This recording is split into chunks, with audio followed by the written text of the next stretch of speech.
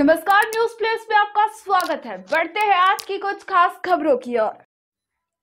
बांदीकुई से पवन कुमार सोनी की रिपोर्ट के अनुसार कोहिनूर द्वारा मुख बधिर विद्यालय में खेल सामग्री वितरण।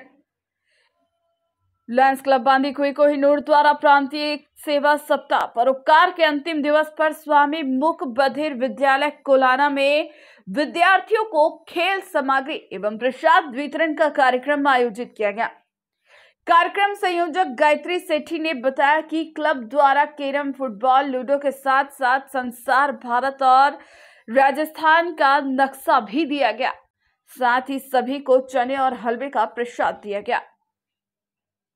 क्लब संरक्षक लायन आयुषी विजय ने कहा कि आज लायन सेवा सप्ताह का अंतिम दिन है, परंतु क्लब द्वारा सेवा कार्य निरंतर जारी रहेगा।